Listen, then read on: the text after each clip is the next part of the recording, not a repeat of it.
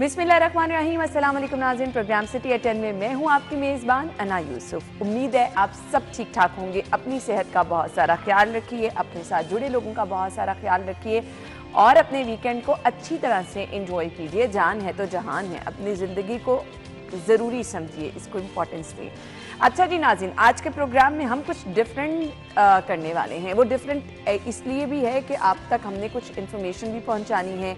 आपकी जान की भी बात करनी है, क्योंकि हमेशा हम अपने प्रोग्राम को इस तरह से डिज़ाइन करते हैं कि हम आपका ख्याल रखते हैं। आज का हमारा टॉपिक बहुत अहम है। वो अहम इसलिए मैं कह रही हूँ, आगाज़ में सबसे पहले आप लोगों को ये बताना, और हम डिफरेंट प्रोग्राम्स इस पर कंडक्ट कर चुके हैं। बहुत सारे माहरीन को भी बुला चुके हैं, बहुत सारे डॉक्टर्स को भी बुला चुके हैं। तबाकू नोशी सेहत के लिए मुजर है। सिगरेट पीना सेहत के लिए मुजहर है। ये तो वाज चीज़ है। इस पर तो इस पर तो कोई दो राय नहीं। लेकिन आज का हमारा टॉपिक कुछ डिफरेंट इसलिए है क्योंकि हम बात करने वाले हैं इलीगल सिगरेट की फरोख्त पर जो कि डबल नुकसान पहुंचाता है। यानी आप सिगरेट पी रहे हैं वो तो नुकसानदेह है ही। लेकिन वो सस्ते सिगरेट जो कि आप आ, मार्केट में लोकल सिगरेट के मुकाबले में अच्छी खासी अमाउंट कम पे करके ले लेते हैं। एक तो वो इलीगल होता है दूसरा आप अपनी मुल्की मैशत को भी नुकसान पहुँचा रहे हैं अपनी जान को नुकसान पहुँचाने के साथ साथ आप ये सोच लें कि आप अपने मुल्क को भी नुकसान पहुँचा रहे हैं। अब ये इंडस्ट्री जो है आ, पाकिस्तान को अच्छा खासा जो है वो टैक्स भी पे कर रही है। इसके दूसरे तरफ़ अगर हम देखें तो वो इलीगल सिगरेट जो कि यहाँ आ रहे हैं जो आप आसानी से ख़रीद रहे हैं वो आपको किस कदर नुकसान पहुँचा रहे हैं? आपके मुल्क को किस कदर नुकसान पहुँचा रहे हैं? ये बात करना बहुत ज़रूरी है। सो so, अगेन मैं आपको ये कहूँगी कि हम ऐसा बिल्कुल नहीं कह रहे कि आप सिगरेट पिए तबाकू नोशी सेहत के लिए मुजर है सिगरेट सेहत के लिए मुजर है लेकिन आज का टॉपिक ये है कि ये जो इंडस्ट्री अच्छा खासा हमारी लोकल इंडस्ट्री पे कर रही है टैक्स पे कर रही है तो नॉन टैक्स पेड सिगरेट जो हैं बहुत सारे लोग वो सस्ते करके ख़रीद लेते हैं तो वो डबल नुकसान जहाँ आपकी जान को पहुँचा रहे हैं वहाँ मुल्क को भी नुकसान पहुँचा रहे हैं। सो ऐसे में किरदार किसको अदा करना है? एफबीआर को अपना किरदार अदा करना है पुलिस को अपना किरदार अदा करना है और इसके साथ साथ कस्टम को मुतहरिक होना है ताकि इन चीज़ों की रोकथाम की जा सके। हमारे सीनियर रिपोर्टर्स आज हमारे साथ मौजूद हैं आमिर रजा खान साहब और वकास अहमद ने हमें ज्वाइन किया है। उन्हें वेलकम कहेंगे। अस्सलाम वालेकुम thank you so much Aamir भाई मैं आपसे आगाज़ करना चाहूँगी। क्या कहेंगे? देखिए आपने तो सारी बातें कर भी दी और कुछ खुल के बयान की कुछ खुल के बयान नहीं की लेकिन असल मसला वही है आ, कि अगर आपके यहाँ पे एक सिगरेट्स जो है वो लीगल हैं तो फिर आपको इलीगल सिगरेट्स तो आने नहीं देने चाहिए। हम्म। पहली बात तो ये है जो स्मगल होकर आते हैं या जेली बनते हैं। किसके एंड पे है वो बड़ा बड़ा बड़ा आसान है। ये जी आ, मुझे आप बताएँ सारा मलबा आप एफ़ पे डाल रही थी आ, ये बाकी अदारे जो हैं ये किस मर्ज़ की बला है? कि ये आ, जो है या दुआ है बुला कह लें दुआ कह लें। वो है। आ, अब, अब एक सिंपल सी बात है आप किसी भी दुकान पे चले जाएँ तो आपको वहाँ पे शेल्फ्स लगे हुए नज़र आते हैं जिन पर लिखा होता है मिलानो पाइन कैप्टन ब्लैक उनकी शेल्फ्स। कोई तो बंदा है जो उस दुकान तक लेकर आया इसको। कोई तो है प्रॉपर एक चेन होती है जो ये समगल सिगरेटों का निज़ाम चला। आप सिर्फ़ एक दुकानदार को पकड़े उससे पूछे भाई तुमने ये सिगरेट कहा तुम्हें सप्लाई करने कौन आया था सप्लायर हम्म। को पकड़ लें सप्लायर से पूछे तुम्हें भाई ये किस गोदाम से मिले थे वो गोदाम पकड़ा जाएगा हम्म। इसमें कोई रॉकेट साइंस थी नहीं हम्म। लेकिन आपने 60 अरब की इंडस्ट्री को तबाह करने का तरीका तहिया कर और आपको मार्केट में हर दुकान से जो लीगल सिगरेट्स हैं जो टैक्स पेयर हैं जो टैक्स पे करते हैं वो आपको जो 146 परसेंट इस साठ बिलियन का पे करते हैं हम्म। उनके सिगरेट्स आपको महँगे नज़र आएँगे और जो आपके स्मगल शुदा या गैर मीरी और जाली सिगरेट्स हैं हम्म। वो आपको सस्ते नज़र आएँगे हम्म। अब आपने खुद ही ये बात बता दी कि दो तरह का नुकसान है एक तो आपकी सेहत का नुकसान दूसरा आपकी जेब का नुकसान जेब का नुकसान और तीसरा ये है कि जो इनलीगल सिगरेट बेच रहा है वो ये नहीं देख रहा कि 18 साल से इसको पकड़ना क्या कितनी बड़ी रॉकेट साइंस थी ऐसे ही कि भाई तुम्हें कौन पहुंचाता है ये अच्छा मुझे वकास से एक दुकानदार पकड़े। आप हम्म। वकास से भी जान ले वकास दुकानदार है। नहीं नहीं नहीं नहीं नहीं लेकिन हाँ नहीं। वकास रिपोर्टर है ना अच्छा मैंने कहा शायद आप वकास से जानने लगे कि दुकानदार से भी पूछ लेते हैं। ये इतनी बड़ी रॉकेट साइंस नहीं थी ना जिसको बहुत बड़ा मसला बना दिया हम्म। गया। अब एक 50 परसेंट आपकी वो कंपनीज़ इस वक्त सप्लाई करती हैं सिगरेट्स हम्म। या बिकते हैं उनके मार्केट के अंदर जो आपको बाकायदा टैक्स पे कर रही है। जिन पर आपने टैक्स इंक्रीज भी कर दिया 146 परसेंट और 50 परसेंट वो सिगरेट्स हैं जो कि इलीगल और जाली हैं। इस पर भी ये पूछा जाता है कि जी, कौन जिम्मेदार है? तो मैं मैं इस बात पर हंसा करता हूँ। होगा परसेप्शन हो सकता है, गलती होगी जितनी पुलिस मज़बूत है, मुजरम उससे कुछ सवा गुना, डेढ़ गुना मज़बूत है।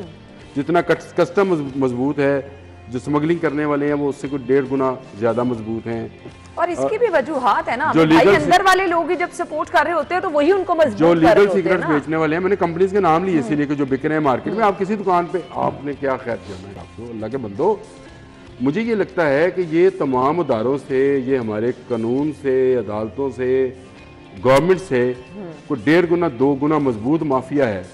जिसको पकड़ना। आप ये देखें कि तीस अरब रुपया सालाना का ये माफिया है। किसकी जेब में कितने पैसे जाते हैं? आप एक एक्साइज वाला पकड़ लें एक पुलिस वाला पकड़ लें एक आप दुकानदार पकड़ लें। सारे का सारा नेटवर्क खुल के सामने आ जाएगा। प्रॉपर पकड़ लेते सामने आ जाएगा। सामने आ जाएगा सही और आप उसके बाद जो मर्ज़ी आप करें और बेचें। सवाल ये है कि Waqas proper licence I think कोई एसओपीज है ना जिनको आप फॉलो करते हैं तो जो ये सिगरेट रखती हैं दुकानें उनको प्रॉपर लाइसेंस लेना पड़ता है। सो उसमें वो शो नहीं करती हैं कि कौन कौन से ब्रांड्स अच्छा। वो रख रहे हैं इसमें लोकल कौन से हैं इम्पोर्टेड कौन से हैं कौन से वो इलीगल रख रहे हैं। कभी किसी ने ये तो फिर हमारी इंतजामिया की रिस्पॉन्सिबिलिटी हुई पुलिस की इंतजामिया पाकिस्तान ना एक लिहाज से बड़ा खुशकिस्मत है कि इसके सारे कवानीन एक मौजूद हैं। इसके इसके ना सारे कवानीन मौजूद हैं। हाँ। इवन फुटपाथ पर कब्जा करने से लेके प्राइम मिनिस्टर बनने तक जो कवानीन जवाबत है वो मौजूद हैं। हम्म, क्या बेचना है आपने? कि, किस तरह बेचना है? कब बेचना है? ये भी सब कुछ है। जो आपने सवाल किया ना क्या क्या क्या कुछ कर सकता है वो भी सारे कवानीन मौजूद हैं। हम्म। लेकिन बदकिस्मत ये है कि किसी पे अमल नहीं होता। स्मगलिंग का बेसिकली कि आप अपने घर से पैसे जो आपके पास हैं वो भी आप चोरी करके दूसरों को दे रहे हैं ताकि मुल्क से बाहर ले जाए। ये एक सेगमेंट है। हम कोई इसकी तशहर नहीं कर रहे कि आप सिगरेट नोशी की तरफ़ आए या सिगरेट को प्रमोट नहीं कर रहे रियलिटी है आपकी इकॉनमी का एक ऐसा फैक्टर है जो एग्जिस्ट करता है लीगलाइज है। तो अगर वो साठ सत्तर अरब रुपये आपको बिलियन आपको एनुअली रेवेन्यू दे रहा है तो आप अगर आपको उस पर कोई शक शुबहात हैं या एतराज़ात हैं तो उसको आप मज़ीद रेगुलाइज कर सकते हैं ना कि आप उसके पैरल एक इलीगल निज़ाम ले आए। हम्म, अच्छा इसमें दो तीन तरह के इशूज़ हैं। एक तो वो हैं जो सिगल सिगरेट स्मगल होते हैं। डेफिनेटली वो टोटल रेवेन्यू जो है वो बाहर चला जाता है। उसमें तो आपका कुछ भी नहीं है। आते वो पैसों के पाकिस्तान रुपीज़ में है जाते वो डॉलर में बाहर है। दूसरा ये है जो टैक्स चोरी करते हैं प्रोडक्शन यहाँ पे करते हैं मिली भगत के साथ वो टैक्स चोरी करके प्रोडक्शन कम दिखा के अंडर लाइसेंस जिसको अलाउ नहीं था उसने एक और ब्रांड का बना के मार्केट में बेच दिया। हम्म, तीसरा जो फिर जाली चीज़ बना रहे हैं। तो ये तीन एक ही सेक्टर्स के तीन फैक्टर्स हैं जो एट द सेम टाइम आपको आपकी इकॉनमी को हिट कर रहे हैं। तो बा, बात की ना किसने करना है? ये हम रोज़ बात करते हैं कि जी किसने करना है? किसने करना है? बता दे। देखे ना अगर मैं आपको छोटी सी मिसाल देता हूँ हमारे एक दोस्त हैं उन्होंने वो एक इंटरनेशनल मीडिया ऑर्गेनाइजेशन के लिए काम कर रहे थे उन्होंने दो एरियाज़ को आइडेंटिफाई किया आज़ाद कश्मीर और गिलगित बल्तिस्तान को। बिलीव मी वो कहते हैं कि मैंने जब काम करना स्टार्ट किया तो मुझे इस्लामाबाद के बड़े बड़े बड़े बड़े आला अहदों पर बैठे लोगों के फ़ोन आए कि आप अच्छा क्योंकि आज़ाद कश्मीर में कुछ रूल्स रेगुलेशन कंपैरेटिवली पाकिस्तान से नरम है। बहुत सारे जो मैन्युफैक्चरर्स हैं जिन्होंने ब्लैक में करनी होती है वो गिलगित बल्तिस्तान में यूनिट लगा लेते हैं या आज़ाद कश्मीर में लगा लेते हैं। वहाँ से इस्लामाबाद भी करीब है मुजफ्फराबाद भी करीब है। अंडर टेबल उनको राज़ी कर देते हैं। उसके बाद वो सारी जो टैक्स चोरी से पैदा होने वाली सिगरेट्स हैं या जो तंबाकू की मसनूआत हैं वो पाकिस्तान के मेन मार्केट में आ जाती हैं। आमिर भाई ने भी बात की ना कि वो डिस्प्ले करने आपने भी पूछा कि डिस्प्ले करने का कोई रूल्स रेगुलेशन नहीं है। कोई गिनती के यूनिट्स हैं ना मतलब कोई सेक्टर्स बहुत बड़ा है इकॉनमी में लेकिन ना बड़ा ऑर्गेनाइज्ड है। आपको पता है कि पाकिस्तान के कितने मैन्युफैक्चरर्स हैं जो जिनको हमें लाइसेंस दिया है। ऐसा तो है नहीं है कि आप हर दो किसी बंदे को सिर्फ़ दो कंपनीज़ हैं मज़े की बात ये है। दो कंपनीज़ हैं जो लाइसेंस काम करती हैं। होल्डर है जो दो लाइसेंस होल्डर या सिगरेट्स बना सकते हैं।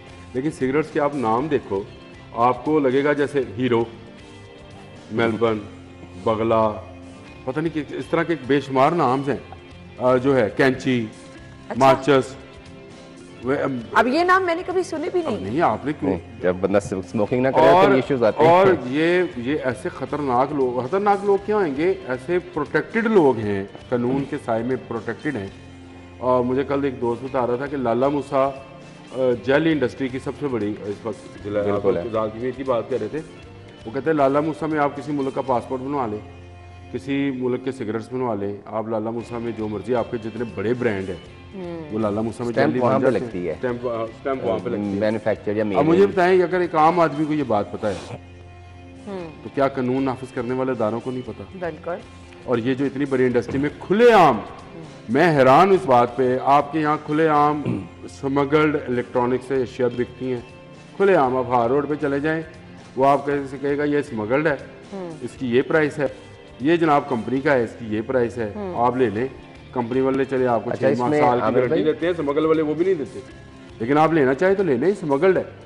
यानी इतनी खुले बंदों यहाँ फरोख्त हो रही है और सिगरेट से तो ऐसा मामला है चले मैं ये नहीं कहता हूँ शायद चंद घर घराने महफूज होंगे। आप इसको बचाने के लिए मैं फिर वही बात करूँगा कि आपके पास तो कहते हैं ना क्लू नहीं होता, सिरा नहीं मिलता। कानून को सिरा मिल जाए तो वो मुजरम तक पहुँच जाता है। सिरा मैं आज दे देता हूँ भाई, ये एक दुकान है भाई सिरा है, पकड़े उसको। आपको सारे का सारा खुल के सामने नेटवर्क ना आ जाए। भाई यहाँ से वो पकड़ लेंगे, बिल्कुल पकड़ लेंगे, लेकिन जिसने स्मगल किया है ना, जिसने मार्केट में प्रोडक्ट लाने से पहले हिस्सा पहुँचा दिया है उसको नहीं सर वो नहीं वो उस वो फिर जिसने पैसे दिए हैं ना वो कुछ नहीं करने देगा। प्राइम रिस्पॉन्सिबिलिटी तो ये कस्टम की है ना। जिनकी ड्यूटी सिर्फ़ यह है कि उन्होंने जो ब्लैक इन आउट हो रहा है उसको रोकना है नहीं है उसको रोकना है। तो एक तरफ़ हम जो रोज़ ये रोते हैं और अपनी आवाम को ये बताते हैं कि हम डूब रहे हैं अल्लाह का वास्ता है डॉक्यूमेंटेड हो जाएँ। हम ये कह रहे हैं कि अगर आपने टैक्स नहीं दिया आपको टैक्स रिटर्न नहीं तो आपके आपको इलेक्ट्रिसिटी का यूटिलिटी बिल आप नहीं आप वो भी सहूलियत नहीं ले सकते हैं। तो यार ये तो आपके सामने है। बिल्कुल ऐसे ही। बिलियंस ऑफ़ अच्छा की एनुअली आपकी टैक्स चोरी हो रही है है। मैं ब्रेक पे मुझे जाना है उसके बाद आके ये डिस्कस करेंगे कि क्या प्राइस का बहुत सारा डिफरेंस है ये वजह है। और फिर वाजे तौर पर जो यहाँ की लोकल इंडस्ट्री की तरफ़ से जो सिगरेट्स की पैकिंग होती है उस पर लिखा होता है, वाजे तौर पे कि ये सेहत के लिए मुजर है। उस पर पिक्चर्स ऐसी बनाई जाती हैं, जबकि दूसरी तरफ़ वो अट्रैक्शन इतनी दी जाती है, शायद वो अट्रैक्शन की वजह से लोग खरीद लेते हैं। सो हम गुफ्तु का सिलसिला आगे बढ़ाएँगे ब्रेक ले लेते हैं। ब्रेक के बाद जब वापस आएँगे तो मजीद इस पर गुफ्तु करेंगे, आप हमारे साथ ही रहिएगा।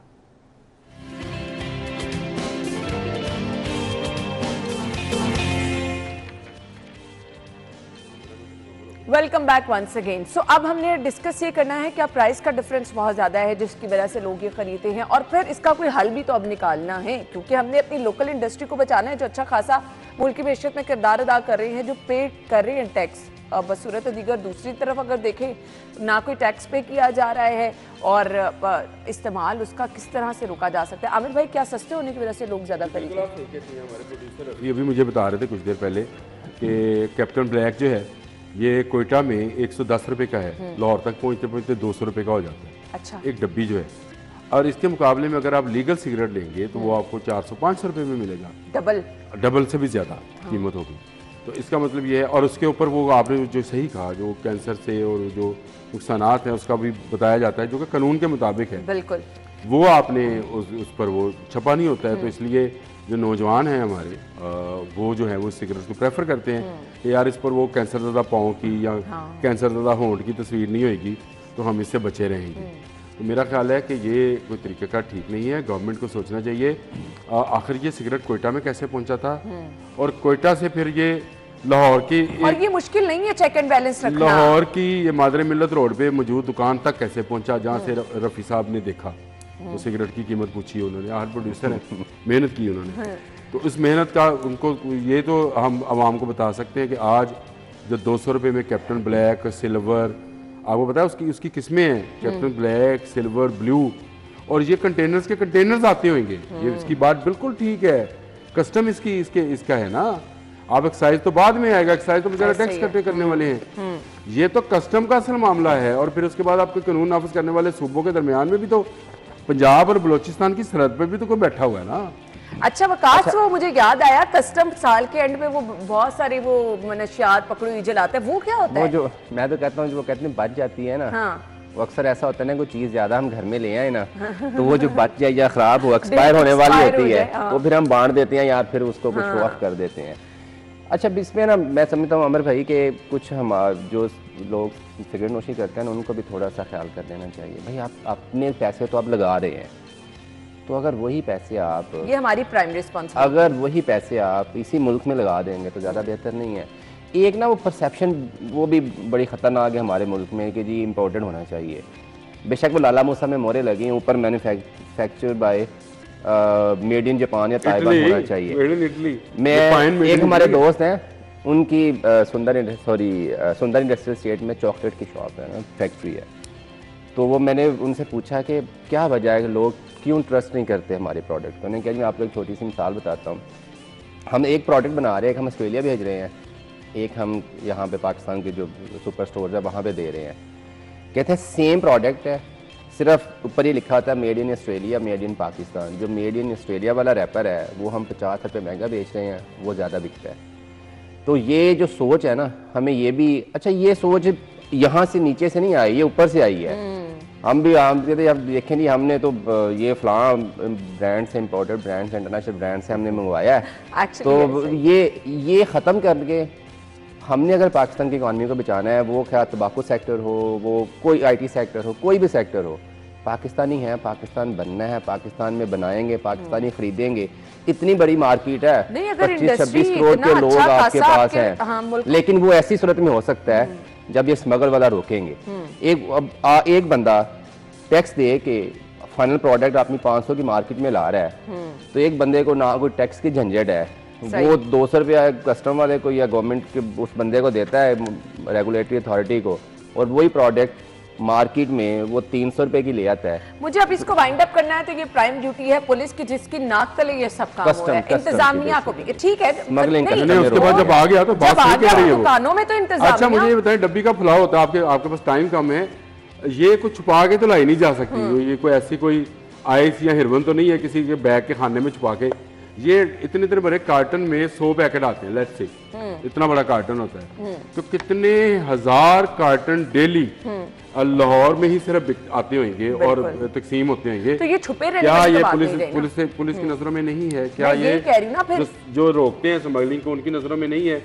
मैं ये आपने पहले बात बिल्कुल ठीक की थी विकास कि ये सारा पैसा जो तीस अरब रुपया है ये ऊपर तक जाता है। आप सब नज़रें बंद आँखें बंद कर लें तो फिर तो कुछ कुछ भी नहीं हो सकता। के एंट्री पॉइंट पे आपका कोई चेक एंड बैलेंस का निज़ाम है? इस पर इस पर सबको सबको एहतजाज करना चाहिए। मैं तो उसके तो तमाम स्मगलियर चाहे गाड़ी हो इलेक्ट्रॉनिक्स Smuggling बंद होनी हो सिगरेट्स होए आपकी कोई कोई प्रोडक्ट हो ना यहाँ से बाहर जाए स्मगल होके ना स्मगल होके अंदर आए। चाहे वो पेट्रोल है चाहे चीनी है चाहे चावल है चाहे गंदम है आप ये इन आउट रास्ते बंद करें देखें ये मुल्क खुशहाल भी और है ऐसा नहीं कि हो नहीं सकता। की मोबाइल जाना आज की मिसाल है। बहुत बड़ा इशू है। इसको ना रोका गया कस्टम की प्राइम ड्यूटी है ये इसके बाद आ जी एफपीआर और पुलिस के नाक तले यहाँ दुकानों में जो कुछ हो रहा है, कभी किसी ने जाके देखने की भी कोशिश नहीं की। और इसके साथ साथ इंतजामिया को भी थोड़ा सा इस पर मुतहरिक होना है। ब्रेक के बाद हम अगले टॉपिक की तरफ़ आएँगे। Stay.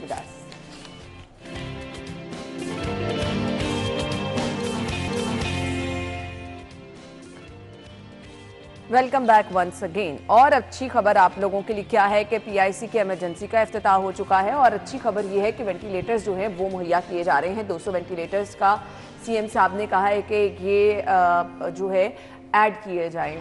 मुझे बहुत खौफ आता है वो वाला टाइम, सोच के भी जो कोविड के दिनों में था, हर कोई वेंटिलेटर की तलाश में था, हर कोई वो ऑक्सीजन वाले सिलेंडर की तलाश में था। अल्लाह ताला कभी ये नौबत ही ना आए कि किसी को वेंटिलेटर की ज़रूरत पड़े। लेकिन इन केस जब कभी भी पड़ी है तो अस्पतालों से हमेशा ना ही आई है। आमिर भाई। बात तो सही है, लेकिन वो पंजाबी का एक वो मिसरा सा याद आ गया कि तेन वेखिया दिल नहीं पड़िया थोड़ी देर हो ठहर जा अभी थोड़ी देर हो ठहर जाए निगरान हुकूमत ये इलेक्शन उलेक्शन के झंझट से मैं तो ये एक आम आदमी के दिल की बात मैं आम आदमी के दिल की बात मैं अभी आम आदमी मैं कौन सा खास लोग यही कह रहे हैं मैं तो खास आदमी नहीं हूँ ना ही मैं कोई ऐसे कोई इस पे आठ फरवरी के इलेक्शन पे कुछ कुछ बात का इजहार कर रहा हूँ लेकिन मैं अपने दिल की आवाज़ कह रहा हूँ थोड़ी देर हो ठहर जा कितना अच्छा हुआ कि 200 वेंटिलेटर्स आपने आपने बात की थी 200 वेंटिलेटर्स आ गए पीआईसी में नई इमरजेंसी बन गई न्यू हॉस्पिटल में नई इमरजेंसी बन गई। तीन चार दिन पहले आपका। जना हॉस्पिटल की इमरजेंसी में गोहर एजाज साहब के साथ मिलकर हाँ। इफ्तिताह हो रहा था। ये यहाँ के हैं। मैं आपको मुल्तान बहावलपुर वहाँ के हॉस्पिटल्स भी गिनवा सकता हूँ जहाँ पे काम हो रहा है इस वक्त। कुछ में काम हो चुका कुछ में निश्तर फ़ेज़ टू में काम मुकम्मल हो गया।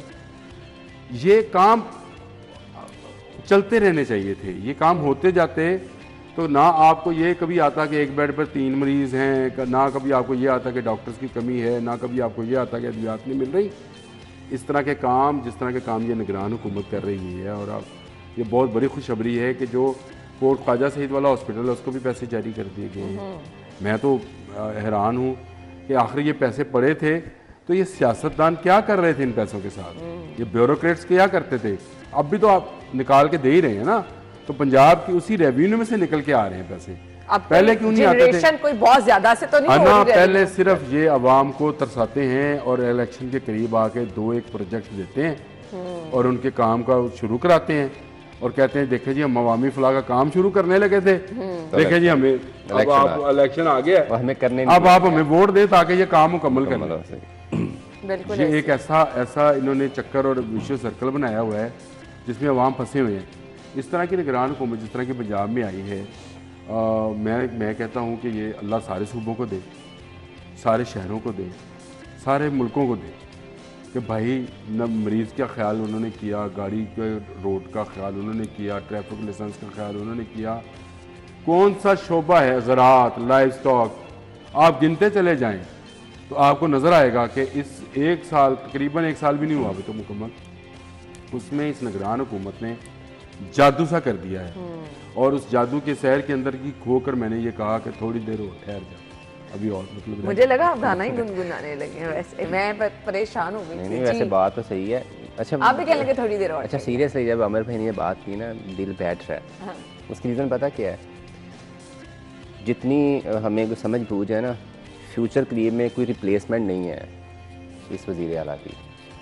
आपको पता है किसने आना है? दूर में भी नहीं मिलेगी नहीं है ना? देखिए बहुत अल्लाह आगे क्या होना है वो meet किसी पता लेकिन है। है मुस्तकबिल मुस्तकबिल करीब में कोई रिप्लेसमेंट नहीं है। हाँ। करीब करीब भी नहीं है ना? एक होता है ना कि आपकी फिट बॉडी एनर्जी इतनी ज़्यादा नहीं है। एक होता है आपकी डेडिकेशन ही नहीं है। और ये प्रॉब्लम है कि वही बात आ जानी है कि जब इलेक्शन करीब आना है अगले वाला तो तब उन्होंने कहना हम कुछ कर लेते हैं। तो पब्लिक को अमर भी आपने की ना अवाम अवाम की ये राय है आम आदमी की। लोगों को ये रियलाइज़ हुआ है कि भाई उनके काम हो सकते हैं। अपने पहली दफ़ा ये के realize हो रहा है। हुए हैं कि पहली दफा- ऐसा पब्लिक सीएम भी है कि उनको हॉस्पिटल में भी नज़र आ रहा है उनको रोड्स पे भी नज़र आ रहा है उनको हर में भी नज़र आ रहा नज़र आ रहा है। सफारी में भी नज़र आ रहा है पार्क्स में भी नज़र आ रहा है। में नज़र आ रहा है अमर भाई पब्लिक में नज़र एक आ रहा दिन में सात घंटे तवील विज़िट यानी तीन पार्क इस शहर के अंदर सिर्फ़ तीन पार्क तीन हॉस्पिटल विज़िट किए। सात घंटे पूरी की पूरी वो इंतजामिया के साथ वहीं पे ऑर्डर्स हुए वहीं पे और मैं खुश हूँ कि कारपेटेड का काम शुरू हो गया वही जो बंद रोड का प्रोजेक्ट था जो आप सीधा मोटरवे तक पहुँचेंगे उस पर भी कारपेटेड का काम शुरू हो गया तो मैं बहुत खुश हूँ कि वो लोगों के लिए कितनी बड़ी सहूलत है। तो जब बंद रोड पे फंसते थे वो सीधा मोटरवे पे जाना चाहते थे कि उनको सेफ़ कॉरिडोर मिलेगा जो मोटरवे तक एक्सेस करके लेके जाएगा और वो पहुँच जाएँगे। बाकी तो विकास बता ही अच्छा ये फ़र्क पता कितना पड़ता है? ये तो लाहौर में खैर लाहौर की तो बात ही हो रहा है ना। मतलब कि मॉनिटरिंग इतनी ज़्यादा है मीडिया बड़ा वाइब्रेंट है स्टेक होल्डर्स यहाँ पे एक्टिव है ज़्यादा। दूर दराज की बात कर लेते हैं। हो चुका है। मैदे का मर्ज जो है हर दूसरा बंदा इससे परेशान है। लेकिन अ, बात यह है कि इसको जड़ से देखना ज़रूरी है कि आया ये मर्ज होता क्यों है? मैदे के अमराज की वजूहत क्या हैं? क्या बहुत ज़्यादा खा लेना क्या बहुत ज़्यादा स्पाइसी खाना? या फिर हम अक्सर लोगों को देखते हैं कि वो ऑयली चीज़ें बहुत ज़्यादा खाते हैं और इसके साथ साथ बाहर के खाने बहुत ज़्यादा खाते हैं जो कि आपके मैदे के अमराज की वजह बन सकती है। मैदे का अल्सर क्या है? इसका इलाज क्या है? फिर अ, फिर अ, किस तरह से क्योंकि हम हमेशा प्रिवेंशन की बात करते हैं आप इसको रोक कैसे सकते हैं? वो कौन कौन सी गज़ा है जो कि आपको नहीं खानी है या कम करनी है या अगर आप खाना खा भी रहे हैं तो प्रॉपर उसका तरीक़ेकार क्या होना चाहिए? आज के प्रोग्राम में हम इस टॉपिक पर बात करेंगे। हमारे साथ स्टूडियो में जो हमारे मेहमान मौजूद है गेस्ट्रोलॉजिस्ट है जी डॉक्टर ने ज्वाइन किया है वेलकम कहेंगे। वालेकुम जी। थैंक यू सो मच बहुत शुक्रिया आपके वक्त के लिए। मुझे ये बात बताइएगा हर दूसरा बंदा खाना खा लेता है वो हजम करना मुश्किल है। मैदे के मर्ज का शिकार है। इसकी वजूहत क्या है? अ, बिल्कुल सही कह रही हैं। हमारे पास जो 90 परसेंट पेशेंट्स आ रहे हैं वो ज़्यादा मैदे के मसाइल के साथ आ रहे हैं। लेकिन इसकी कोई एक वजह नहीं मुख्तलिफ़ वजूहत हैं। कई लोगों की खुराक की नाली में सोजन होती है कहीं की मैदे में सोजन होती है कहीं की छोटी आंत में सोजन होती है कई अल्सर के साथ आते हैं। और अ, हर चीज़ की एक मुख्तलिफ़ वजह है।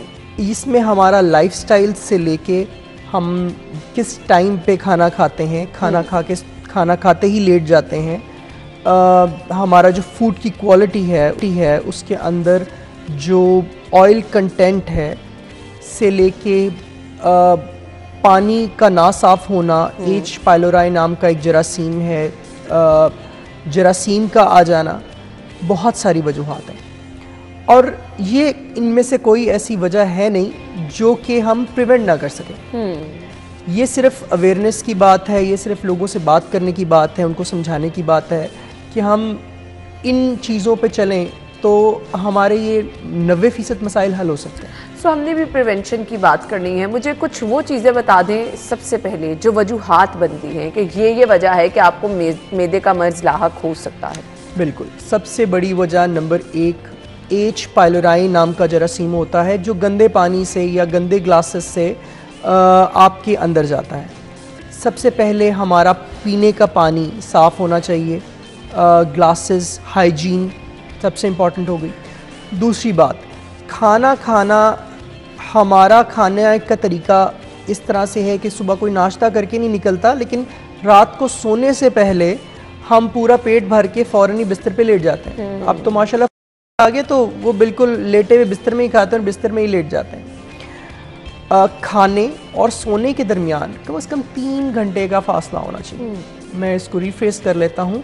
खाने के और लेटने के दरमियान कम से कम तीन घंटे का यानी जो रात का खाना है एटलीस्ट आपका ना आपको अपने सोने के टाइम से तकरीबन तीन चार घंटे पहले खा लेना बिल्कुल। ताकि वो खाना आगे की तरफ़ चला जाए। पेट भर के या ओवर ईटिंग करके हमारा खाना मैदे में फंसा हुआ है वो ऊपर की तरफ़ आने लगता है जो कि खुराक की नाली की सोजन का बायस बनता है जिसको गर्ड कहा जाता है।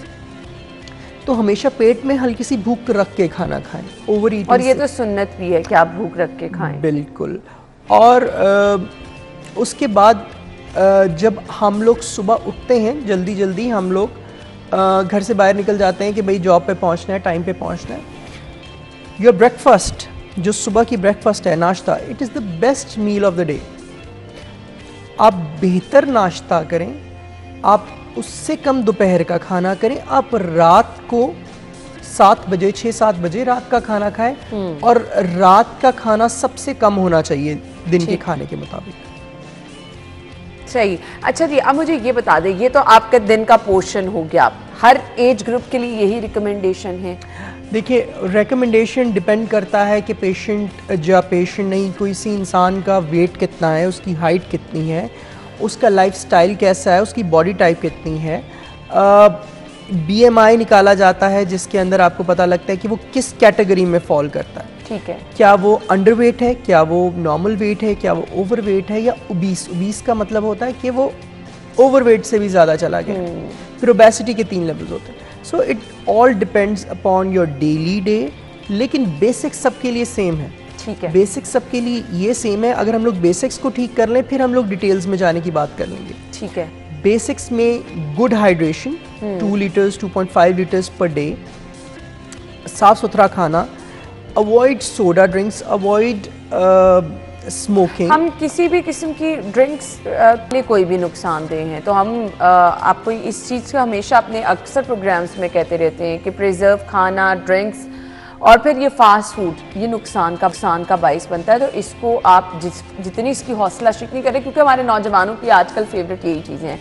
सो ये सब चीज़ें वजूहत बन सकती हैं। बहुत सारे लोग शिकायतें करते हैं कि खाना खाते ही जलन होना शुरू हो जाती है। बिल्कुल। उसकी रीज़न क्या होती है? देखिए जलन होने के दो खाना खाते ही फ़ौरन जलन होने की दो वजूहत हो सकती है।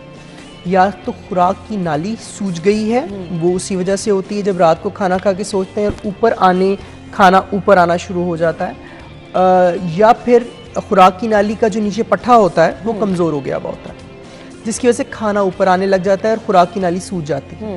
दूसरी वजह ये होती है कि मेदे का अपना सूजना या मेदे का अपना अंदर का अल्सर।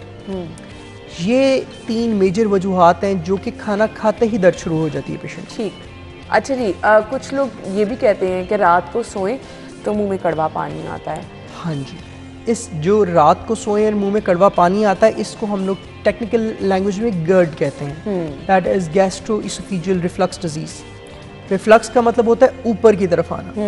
तो जो मेदे का एसिड क्योंकि मैदे की इन्वायरमेंट आपकी एसिडिक है। मैदे का एसिड जब ऊपर आता है तो खुराक की नाली उस एसिड को बर्दाश्त नहीं कर सकती। वो सूज जाती है।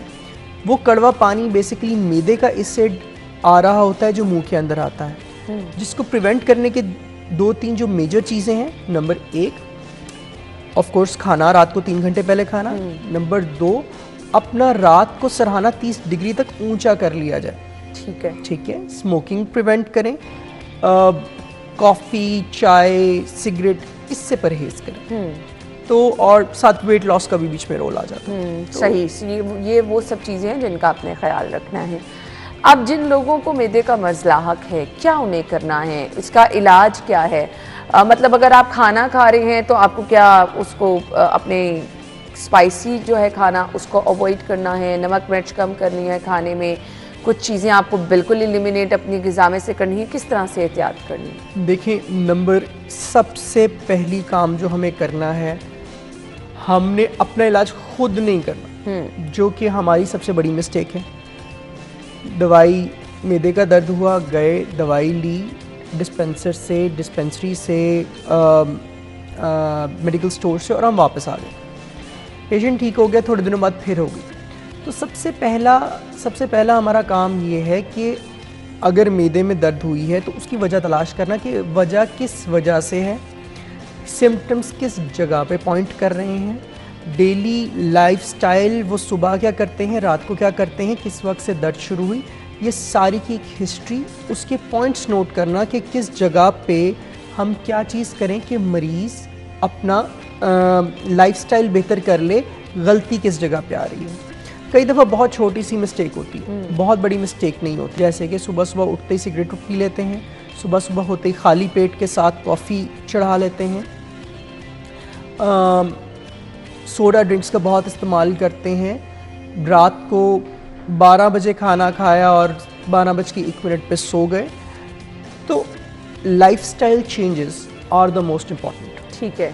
जब लाइफस्टाइल चेंजेस के साथ हम मेडिकेशन बिल्कुल थोड़ी स्टार्ट करते हैं लेकिन एक्स्ट्रा मेडिकेट करना और लाइफस्टाइल चेंज ना करने से कोई फ़र्क नहीं पड़ता hmm. हमें दोनों चीज़ें जब इकट्ठी चलती हैं तो फिर मरीज़ ठीक होता है हम्म, दूध दही का इस्तेमाल रिकमेंडेड है क्या अगर आपके मेदे में दर्द हो रही है? दूध दही सिर्फ़ उस वजह उस वक्त अ, हम मना करते हैं मरीज़ को जब हमें लगे कि पेशेंट लैक्टोज इंटॉलरेंट है। ये एक अ, ऐसा मर्ज़ है जिसमें दूध जैसे ही मरीज़ पीता है तो उसको मसाइल शुरू हो जाते हैं जिसके अंदर डायरिया कॉन्स्टिपेशन इस तरह के इशूज़ आने लग जाते हैं। और पेशेंट से अगर आप बात करें या उसकी हिस्ट्री ले तो मरीज़ आपको खुद ही बता देता है कि मैं दूध पीता हूँ तो अ, मुझे मसाइल शुरू हो जाते हैं। अगर ऐसा नहीं है तो दूध दही का इस्तेमाल साफ़ दूध अच्छी बॉइल्ड दूध दही का इस्तेमाल बहुत अच्छा है। सही। अच्छा मुझे ये भी बता दें कि मैदे का जो अल्सर है इसका इलाज क्या है? और ये क्या एक्सट्रीम अगर आपका मैदा ख़राब हो जाए तो वो अल्सर में तब्दील होगा? नंबर एक बात बिल्कुल सही कह रही हैं अल्सर सोजन की एक एक्सट्रीम फॉर्म है जिसके अंदर जो हमारा अंदर की लाइनिंग होती है वो टूट जाती है और वो जैसे चोट बनती है चोट जैसी अंदर बन जाती है। अब मेदे के अल्सर का इलाज बिल्कुल मुमकिन है। अ, सबसे पहले वही बात वजह। क्या वो अल्सर इस वजह से बना है कि अंदर कोई जरासीम है? क्या वो अल्सर इस वजह से बन रहा है कि लोग दर्दों की दवाइयाँ बहुत एक्स्ट्रा इस्तेमाल करते अच्छा हैं? पेन किलर्स reason है। बहुत लोग पेन किलर्स सिर्फ़ इस्तेमाल करने के लिए इस्तेमाल करते हाँ ओवर द काउंटर आप यूज़ कर रहे हैं ना अच्छा थोड़ा सा थकावट महसूस हो रही है रेस्ट करने के बजाय आपने पेन किलर ले हैं बिल्कुल। कई लोग स्टीरॉइड्स का इस्तेमाल करते हैं, जो अल्सर का बायस बनता है, या फिर आखिरी एक्सट्रीम केसेस में कैंसरस अल्सर भी बन सकता है, जो कैंसर होता है। नंबर एक, उस अल्सर को देखना, उसकी बायोप्सी लेना और उसका निशानदही करना कि ये वजह क्या है।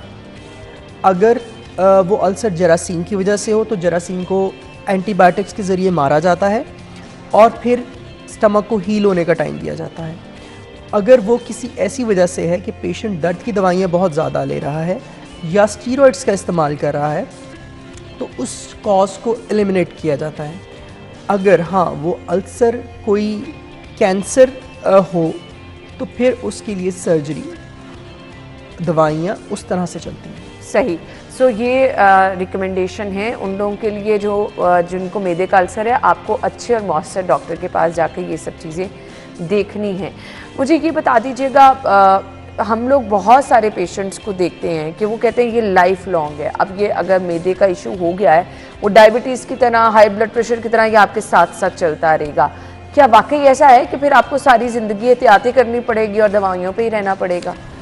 देखिए ऐसा बिल्कुल नहीं। नंबर एक बात अगर आप प्रॉपर इलाज करें अगर आप प्रॉपर एक लाइन पे चलें तो ये हल हो जाता है।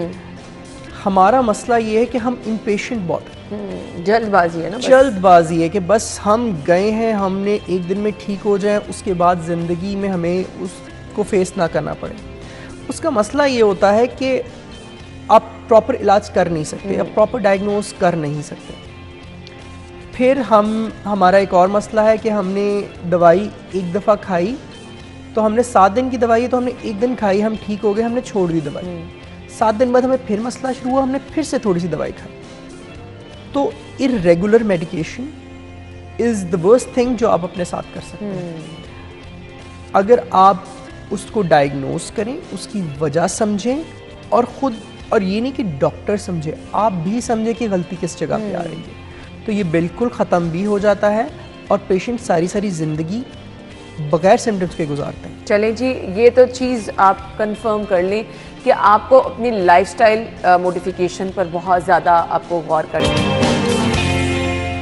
वेलकम बैक और अब हम आगे बढ़ेंगे, अगला सेगमेंट शामिल करेंगे, देखते हैं आज की हेल्दी टिप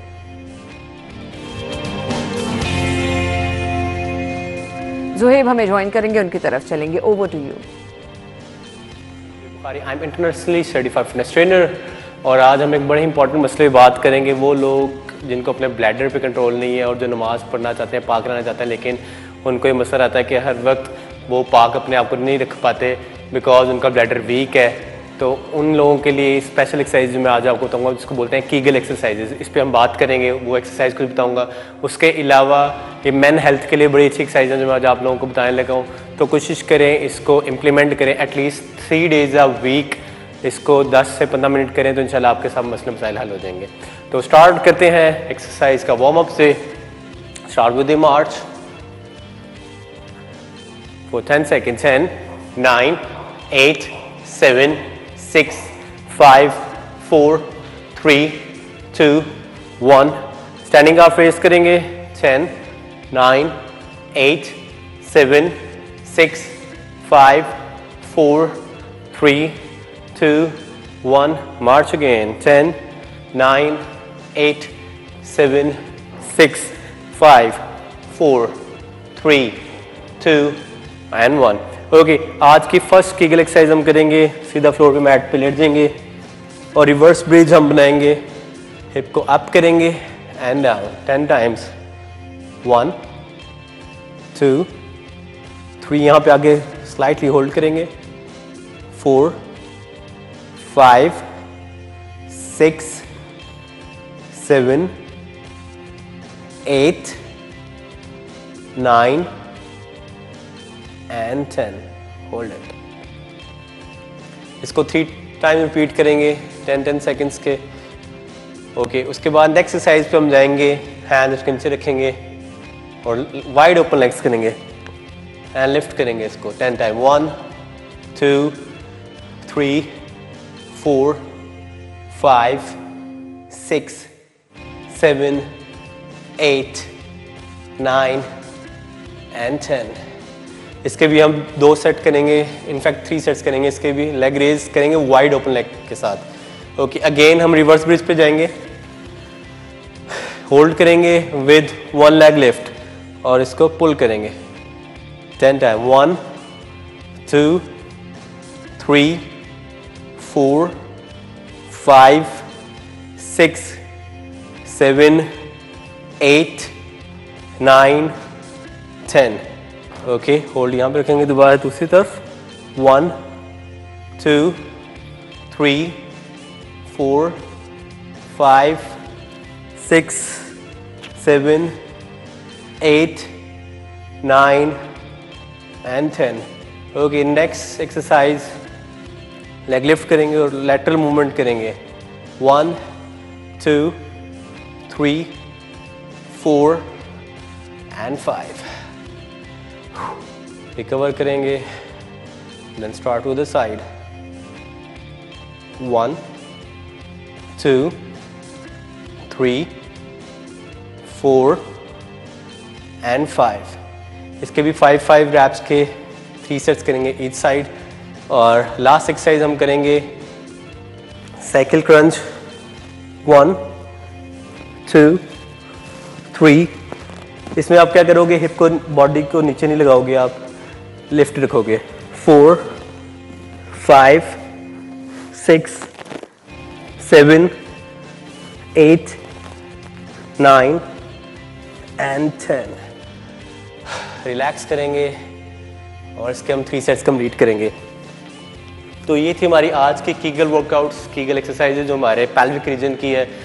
तो जिन लोगों को जो प्रॉब्लम चल रहे हैं यूरिन कंट्रोल नहीं हो पा रहा या पाक नहीं रह पा रहे तो एक्सरसाइज के इंशाल्लाह उनके मसल स्ट्रेंथन हो जाएँगे और इंशाल्लाह चंद ही दिनों में या हफ्तों में बेहतरी फील करेंगे। तो अपना फीडबैक लाजमी दें एक्सरसाइज को ला, लाजमी इम्प्लीमेंट करें और हमारा प्रोग्राम देखते रहे। Thank you so much Zuhaib आपके वक्त का बहुत बहुत शुक्रिया। हम ब्रेक के बाद आपको ज्वाइन बहुत ज़बरदस्त। हमारे साथ जी आपका वीकेंड हम हमेशा कहते हैं कि स्पेशल बनाना है और उन लोगों को आगे लेके आना है जो उनमें ज़बरदस्त टैलेंट है। और आज भी हमारे साथ ऐसा ही उभरता हुआ सितारा आपने आवाज़ भी सुनी अंदाज भी देखा इंतहाई खूबसूरत आवाज़ के साथ साथ ज़बरदस्त अंदाज। राबिया मिनास हमारे साथ मौजूद हैं गुलकारा हैं वेलकम कहेंगे अस्सलाम थैंक यू जी अस्सलाम आपके वक्त का बहुत बहुत शुक्रिया। बहुत ही खूबसूरत आवाज़ है। Thank मुझे ये बताइएगा अ, कब से सिंगिंग कर रही हैं? ज़्यादा टाइम नहीं हुआ। एटीन 2018 से स्टार्ट किया अच्छा तो क्या शौक था? कैसे कैसे स्टार्ट लिया?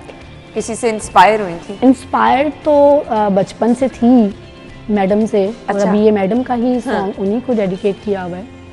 और ज़्यादा मैंने पहला सॉन्ग भी मैडम से ही स्टार्ट किया था और बचपन से मैडम ही माइंड में बैठी हुई है। बल्कि मेरा दिल है कि मैं बहुत जल्द उनका वो भी एक अपनाऊं उनका गेटअप वो साड़ी वाला। बिकॉज़ हाँ। मुझे बहुत पसंद है उनका मेकअप का स्टाइल हेयर स्टाइल फ़ैन हूँ मैं उनकी। यानी आप उनकी फ़ैन है। अच्छा आप यानी आपकी इंस्पिरेशन भी हुई थी क्या? बचपन से ही हाँ। उनको सुनती थी? बचपन से ही। फिर किसी से सीखा? फिर ऑब्वियसली किसी से नहीं सीखा किसी एक से नहीं सीखा काफ़ी लोगों से सीखा। जहाँ जहाँ मुझे अच्छे आ, मिले बस मैं वहाँ बैठ गई। सही। कि हाँ कि अगर यहाँ कमी रह गई है तो अब इनके पास। और इस काम के लिए दिन रात एक मैं वही पूछने वाली थी कि सिंगिंग क्या मुश्किल मरहला है क्योंकि लोगों को लगता है ना अब आपके पास सोशल मीडिया प्लेटफॉर्म हाँ। मौजूद है तो बस आप दिन में शोहरत हासिल कर सकते नहीं इसमें कोई शक नहीं है सोशल मीडिया ने आ, क्योंकि गॉड गिफ्टेड भी होता है। मैं स्कूल टाइम से गा रही हूँ। मतलब अपने स्कूल में तो नाइन्थ क्लास में बकायदा मतलब अपने मतलब फेवर पे या मतलब जो हमारा जो होता था लास्ट ईयर का तो नाइन्थ क्लास से मैं गा रही हूँ। तो तब मैंने सीखा नहीं था। वो आप कह सकते हो कि गॉड गिफ्टेड एक जो होता है ना बच्चे के अंदर। तो बस वहीं से आप समझ लें कि वो एक चीज़ तो थी अंदर लेकिन वो पॉलिश नहीं हुई हुई थी। उतार चढ़ाव का नहीं पता था कि सुर सुर के बारे में नहीं पता था। उसकी ट्रेनिंग बकायदा फिर वो मैंने बाद में ली। अच्छा फैमिली वालों ने सपोर्ट किया? क्योंकि आप इस तरह की फ़ील्ड में आना चाहें तो फिर फैमिली कहती है अच्छा आगे कुछ नज़र नहीं आ रहा सारा मतलब टाइम इस पे स्पेंड हो जाएगा। फैमिली की सपोर्ट हासिल थी या नहीं? फैमिली को पता नहीं था। अच्छा यानी ये आपका हिडन एक शौक था और आप उसको लेके चलती रही हाँ। नहीं स्कूल में तो गाती थी। मतलब स्कूल में जब गाया था तब तो मम्मा थी साथ लेकिन वो एक मेरी माँ को था कि स्कूल तक ठीक है ओके हाँ। मतलब एज अ स्टूडेंट होता है चलता है। क्योंकि मैं क्लास थ्री से ही एक प्रोमिनेंट स्टूडेंट रही हूँ अपने अ, स्कूल में। तो बहुत लाइक फाइक तो नहीं एवरेज स्टूडेंट थी बट ये जो हमारे जो टैबलेट्स वगैरह में होते हैं तो उसमें मैं सबसे आगे आगे रहती थी। हाँ। एक्टिव स्टूडेंट थी। सही। तो टेंथ तक। तो वो मम्मा को पता था कि इतना ओके लेकिन जब मैं ये ये प्रोफेशनली जब मैंने स्टार्ट किया मेरे दो गाने बन गए थे। और मेरी माँ को नहीं पता था। अच्छा। मम्मा को नहीं पता था। तो मम्मा को पहले तो परेशानी ये हुई थी कि घर किस तरह बताना है। मतलब लाइक भाइयों को मेरे फादर को कि अब तू कर तो बैठी है। बिकॉज़ मेरे साथ सीन ये हुआ था कि दो गाने मैडम के ही बना चुकी हुई थी और मम्मा को नहीं पता तो ला के गाड़ी में बिठाया क्योंकि हिम्मत भी नहीं हो रही थी कि किस तरह से बताऊँ कि इधर थप्पड़ इधर थप्पड़ ना आ जाए। तो बिकॉज़ मेरी फैमिली से कोई इस तरह से नहीं हमारी फैमिली से नहीं कोई गाता कोई बैकग्राउंड ऐसा नहीं है और कोई सपोर्ट करने वाला भी नहीं है लेकिन अल्हम्दुलिल्लाह अब सब सपोर्ट करते हैं। बिकॉज़ जब सबने देखा कि नहीं ठीक है अच्छा कर रही है काम रिस्पेक्ट मिल रही है तो अब तो मतलब मेरे फादर भी सपोर्ट करते हैं। चलिए जी अच्छी चीज़ है। हम भी आपको गुड लक कहना चाहेंगे और इसी तरह से आप आगे बढ़ती रहें। जब आप शौक और लगन से कुछ भी चीज़ करते हैं ना तो फिर कामयाबी खुद ब खुद आपका मुकद्दर बन जाती No है। हम. इसी तरह के बहुत सारे लोगों को इसलिए आपसे मिलवाते रहते हैं कि अपने शौक को आपने ही आगे लेके चलना है। लगन के साथ कुछ भी कीजिए उसका रिज़ल्ट इनशाला अच्छा ही होगा। बहुत बहुत शुक्रिया। मैं चाहूँगी जाते जाते आपको कुछ सुना शो वाई नॉट